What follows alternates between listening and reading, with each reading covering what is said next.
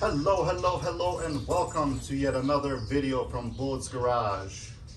You may ask why I have my front suspension out of the car, and that's because I'm going to be swapping out my 14 kilogram springs for some stiffer 16 kilogram springs in the front. And then these 14 kilograms I'm gonna put in the back. And I'm doing this because when I originally purchased these springs, I was probably like the second or third, fourth person to get them from Lou from Modern Japan. And originally he suggested 14 kilogram front, 10 kilogram rear spring rates. He said it's a nice, comfortable, smooth ride. So I'm like, okay, because I didn't want a harsh ride. I didn't want a bumpy ride. So I'm like, cool, let's do it. So here we are, what? Three years later.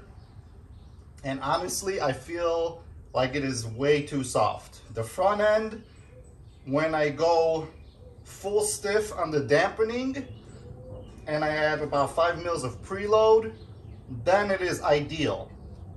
But I don't want to be running the shocks at full stiff setting because the fluid could overheat and the shocks wear and tear a lot quicker. So I'm gonna upgrade the springs to a stiffer spring. That way I could dial down the dampening and have the same result. And as far as the back, these girls are big and heavy, okay? So the 14s from the front that are gonna go to the back are gonna make a huge, huge difference because currently on the highway with these 10s, if I hit a big dip, it feels like a ball. It goes woo, woo, woo. It doesn't just hit and settle. It's kind of like bouncy. We got to get rid of that. So that's why I got this apart. I'm going to swap it out. And um, you probably can't see right now, but I'll show you up close. One of my top bushings here, well, actually both of them were destroyed.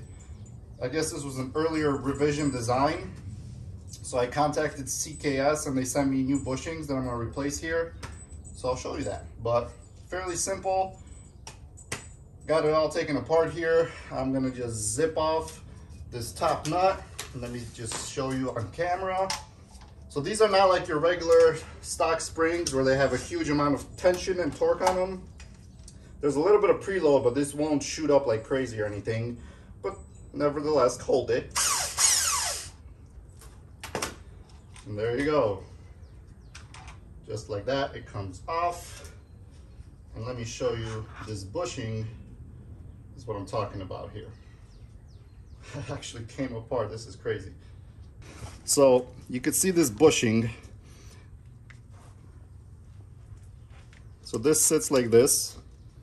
You have the washer on top, the bushing in the middle, and then a bushing underneath. And if you could look, this bushing is completely tore up. Okay, let me take this off. So this top bushing, look at that. Tore apart. The, the fail point of this bushing is this slit that it has in the middle. That becomes a fail point. As you can see, I mean, try to push this one out. The rubber piece from the back end came through here. Oh, look at that. Completely destroyed. So CKS, I reached out to them. They're like, yeah, we have revised these a little bit. So we'll send you out the new ones. Ugh.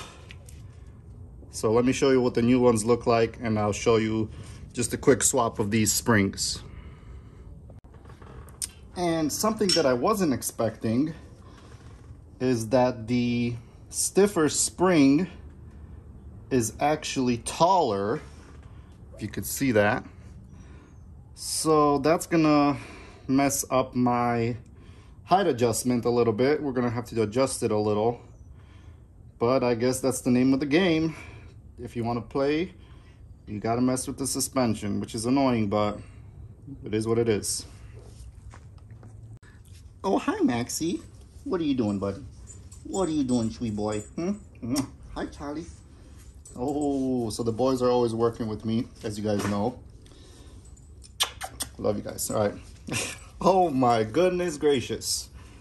All right, guys, go play outside. Daddy's trying to make a YouTube video for his 100 subscribers that he has, okay? All right, go, go, go, go. Go, boys. Go outside. Go outside. Go. All right, so here is the replacement bushing, okay? As you can see, there is no slit in the middle, solid design. This is not gonna cause the same failure as it did for the other one. So let's pop this one in here, pop this bad boy in here, and put our little sleeve through it. And just like that, that is a good setup right here, and we're not gonna have any freaking issues.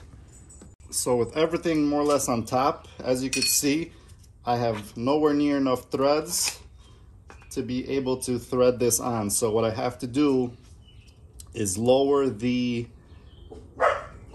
perch right here to drop the spring far enough to where I could see the threads and I could be able to tighten it down.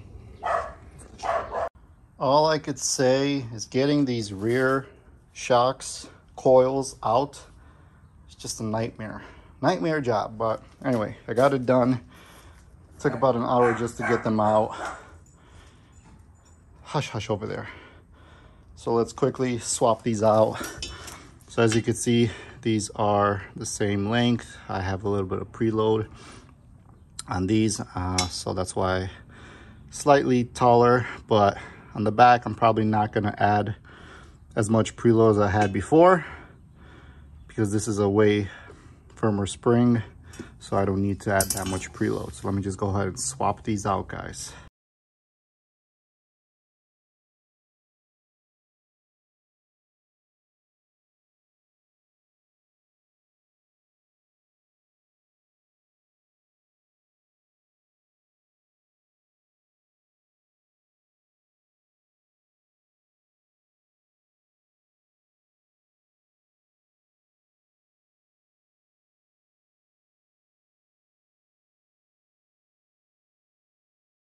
Job is done. Um, finished. Front, super easy, quick and easy. The rear, pain in the ass. Only because I didn't want to drop the lower control arm. So I just removed the lower bolt from the coilover, removed the three nuts on top, and I had to kind of wiggle it out and get it out, which was just annoying. But this is how she's currently sitting.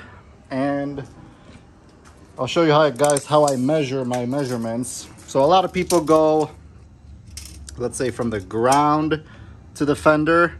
If you do that, my rear is at 26 and like 3 eighths.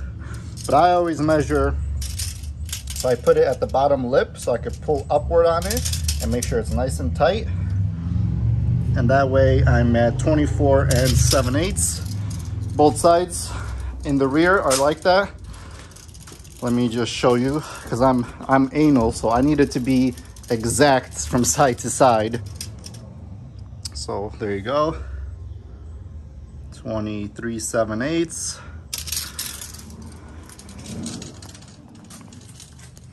And then the front, if you go from ground to fender, I am at focus, focus.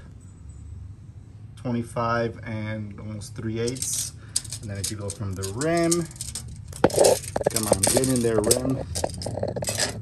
From the rim to the fender, I'm at 23 and 3 eighths. On driver's side,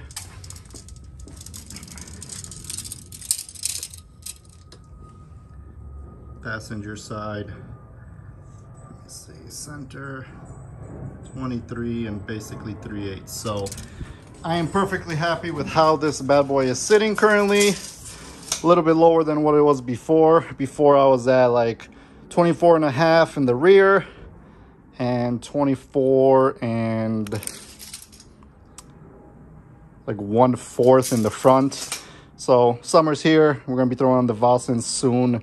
Stiffer spring in the front, stiffer spring in the back. So that's why I lowered it a little bit because I'm not gonna have as much compression with these stiffer springs in the front and the back. So far, I've driven around the block. feels very good. The front end feels good. The back end feels way more planted. So I'm very happy with that. And yeah, so that's going to be today's video. Nothing special. Just wanted to show you guys an update of the spring rates that I'm doing and why I'm doing it. Just want a little firmer ride. I don't want the back end to be so soft and fidgety. This way we're going to be more planted.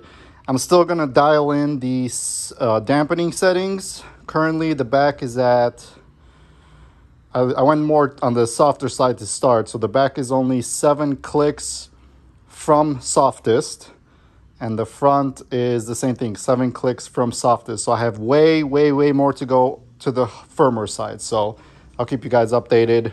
Peace out. Please subscribe.